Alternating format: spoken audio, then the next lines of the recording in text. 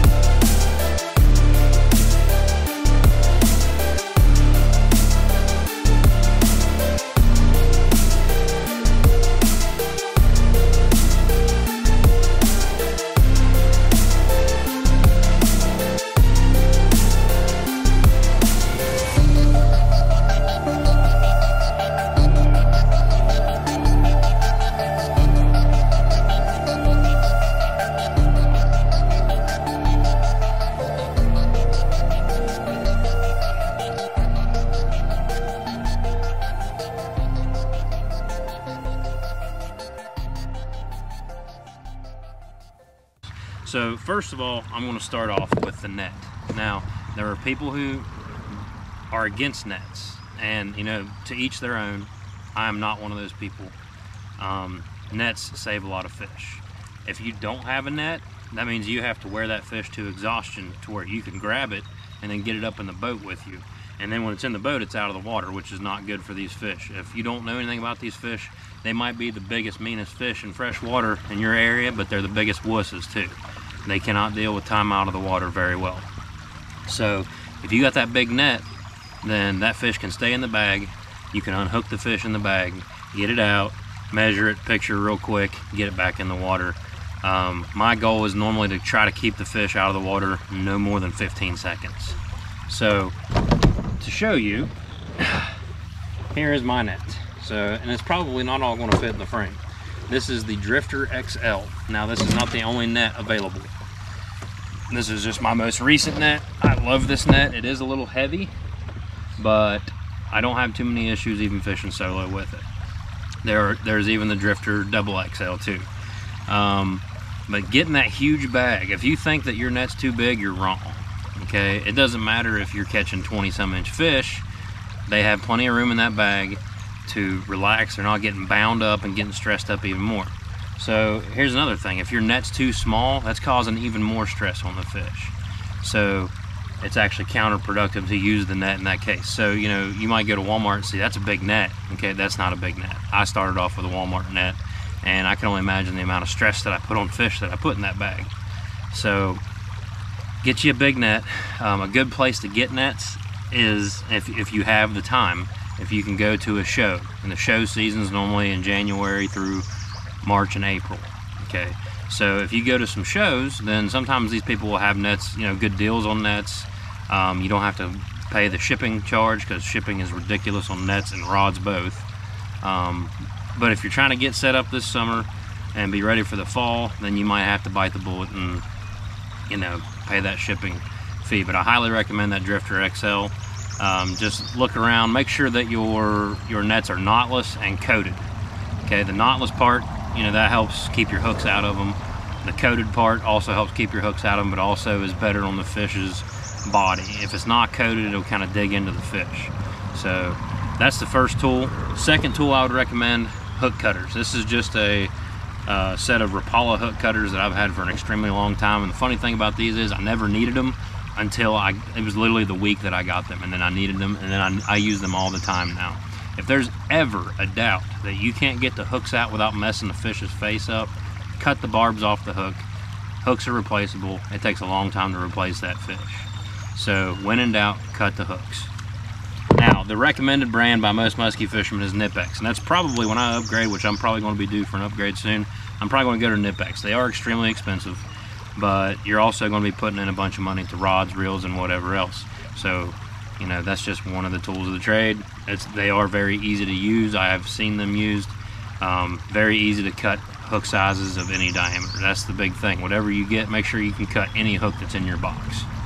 And not only for the safety of the fish but for the safety of you. I've had two hooks put in my my own flesh by fish before. So um, being able to get yourself out of that situation quickly is also very important because the longer you wait the more adrenaline that wears off and you're going to start feeling even more of it so if you can get that off, get that out of your hand or whatever part of your body. I had one through the back of my hand poking at my palm before um, with a fish attached. And then I had one in my inner thigh once because I was bank fishing and picked one up to unhook it and it flopped and it had the rear treble. Hook front treble went through my inner thigh and the fish was still attached. Luckily it broke the bait in half. So, but you know, having those hook cutters is not only safer for the fish, but also for you. Okay, now the next one, or two I should say, have a long set of needle nose pliers. This keeps your hands farther away from the fish's mouth because you know they're loaded with teeth and it can allow you to get deeper in there if a fish were to choke a bait and that still keeps your hands pretty much out of the fish's mouth. But one pair of pliers is not enough. I would have a backup pair because you never know when you're going to drop a pair or you might have to hold one part of the hooks with one set of pliers and reach in with another with the other set. So always at least have a couple pairs of needle nose pliers in your boat. That'll make life a lot easier for you. Now, one of the other ones, um, which I don't personally have, I'm probably going to add it eventually here, but jaw spreaders. I've not personally had a situation where I absolutely needed them. I know they could benefit, but those jaw spreaders will help pry that fish's mouth open to where you can get in there and work. So that's just another tool that could also benefit you and the fish in the long run.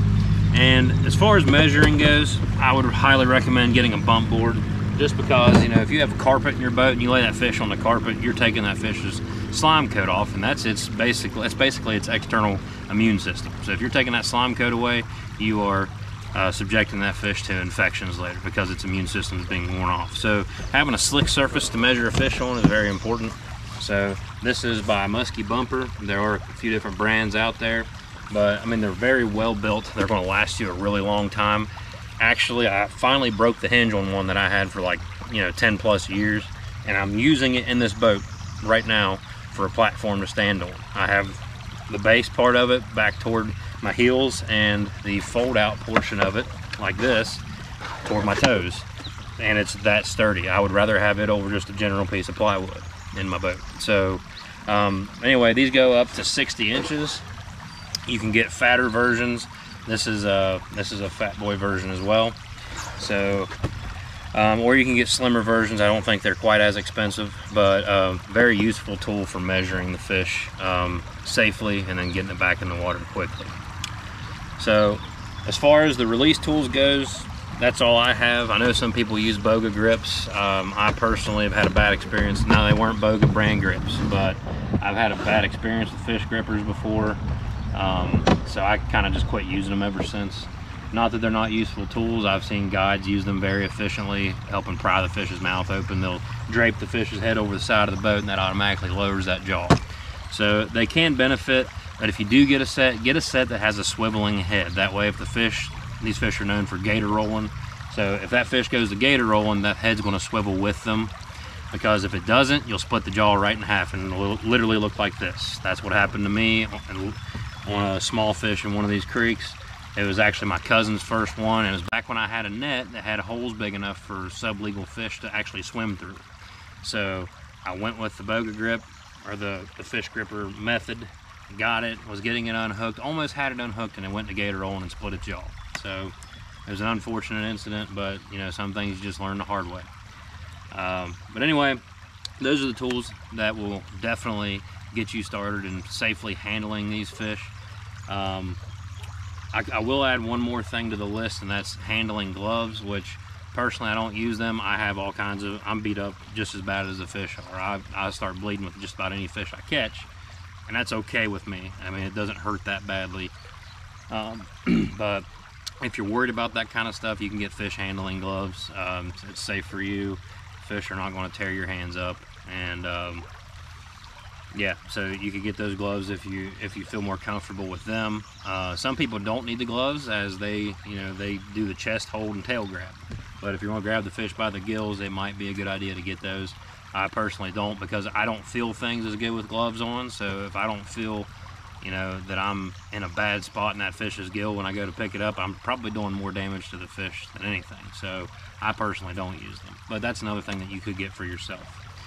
So anyway, hopefully you found these tools, this this video to be helpful to uh, your experiences on musky waters. And uh, definitely, I, I cannot stress it enough, look into getting these tools before you get into rods and reels and whatnot. Because you can catch a muskie on just about anything you throw. I mean, obviously you're not going to target them with six pound test, you know, fluorocarbon, but um, I'll do another video later on, you know, what I would recommend for a starter kit as far as um, getting started with rods, reels, and baits and whatnot. But I cannot stress the importance enough of these release tools. So hopefully you enjoyed this. You can take something away from this and help get yourself fully set up to tackle these muskies the safe way for you and the fish both. We'll see you next time on Game Over Outdoors.